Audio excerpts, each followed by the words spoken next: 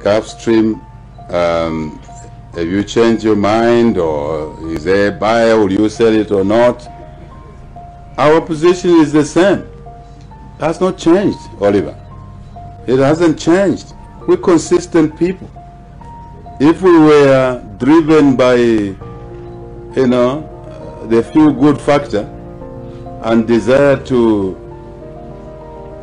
fluffy around with the so-called luxury when citizens are suffering, we could have just gotten into a Gulfstream, Gulf, Gulfstream and flew to the US. We had to take a commercial flight as part of delivering our message about the Gulfstream. That we did not agree in the manner in which it was purchased. Why did the debate start in the first place? Because we were concerned about the cost of that air, airplane, isn't it? Was the fair price paid? Paid. Isn't it? We thought it was expensive, it was unnecessary at the time for the price. Let's understand each other. For the price, you can buy a bicycle. If the bicycle, let me change it, Oliver. If the bicycle costs 2,000 kwacha, and you go and buy the same bicycle at 20,000 kwacha, or 10,000 kwacha, you've lost. Let's assume that bicycle, you're a worker in government. Instead of buying it at 2,000, you go and pay 10,000. What have you done? The bicycle is necessary, yes, isn't it? L- let's be smart here. Let's use our grey matter just a little bit, right? The bicycle is needed for a messenger in your office, a government office, to deliver mail within a short distance. Let's let's let's let's move from a bicycle. Let's use a practical example: a motorbike for a messenger to deliver mail in a township, in a government office somewhere. And the motorbike is for 20,000 kwacha.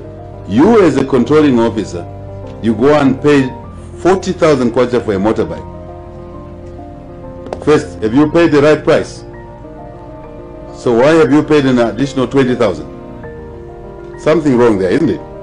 That's what we contended. And soon you'll understand why we did that. Now we have the figures. And we've been proven right. Two, second question. Is it that uh, you don't want the motorbike to deliver mail or not? The motorbike is necessary, isn't it? But we're co- concerned about the price you paid. Oliver, that settles this debate. It was a, not an emotional attachment because somebody was riding a Gulfstream. If it was that perception, I could have simply, you know, President is a commander in chief, eh? I could have simply said, Zaf, where's the pilot? Let's go to New York. By the way, the pilot was ready.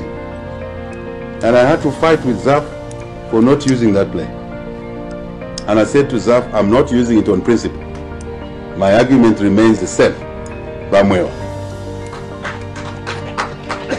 You will see soon we're taking that matter to cabinet, we're taking it to parliament, and then at that point, numbers will become known to all of you. Then you will see who is who loves this country and who did not love this country.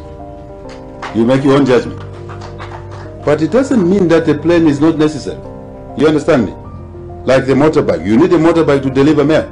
But why would you pay twice the price?